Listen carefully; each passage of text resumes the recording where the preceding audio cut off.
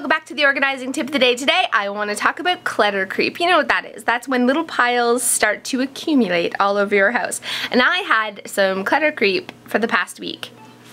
It wasn't like a huge deal, but I never have a lot of clutter, so I was kind of like freaking out. There's a little pile of mail I had to deal with here. There was like little piles of kids' silly bands and hair clips and lipstick all over the living room in little piles and you sort of don't notice it. It's like it becomes invisible and those piles of clutter that creep into your home slowly start to multiply.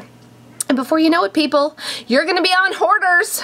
So what I did is what I always do because I'm a total nerd. I set my alarm on, you know my timer on my stove for half an hour and I just put the clutter away. I put it all in a bag, that stuff that was in that room. The kitchen was kind of like totally cluttery because we're having a birthday party coming up. So I was just like putting stuff on the counter because it's Saturday and I was like, oh, it's only three days away and I have decorate cupcakes. So I left all the decorating cupcake stuff that I bought on the counter. Why wouldn't I just find a spot for it? So I found a spot for it because it's three days and you leave something out, even if it's for three days, it sets a precedent. Anyways, I'm such a nerd. So I set my alarm. And here's the tip that I wanted to give you. This is what I did to my children, which you know, you're probably thinking, God, you're so mean. But I told them, at the end of that 30 minutes when the beep, like the alarm goes off, if any of their toys are left in the living spaces, they're going in a garbage bag. In the trash. I threaten this a lot. I know I'm such a mean mother, but you know what?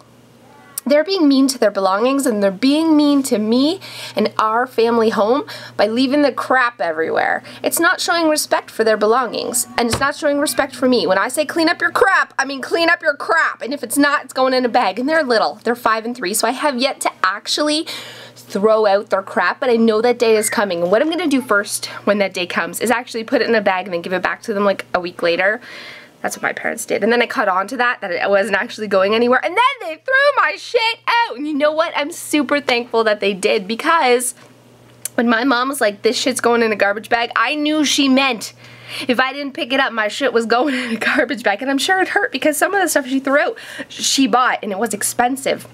And that day is gonna come for me, but it's worth it it's worth it to teach them to respect their belongings, to respect you, and to respect your home. We are so lucky that we have a home. I was watching this thing on the floods and people's homes are getting washed away and it was really sad and depressing and I wanted just to give my home a hug. So I, I did. I gave my home a hug by cleaning up the clutter by mopping, by vacuuming. I know it's lame, right? But it's your it's your biggest investment. Maybe not everybody's. It's my biggest investment.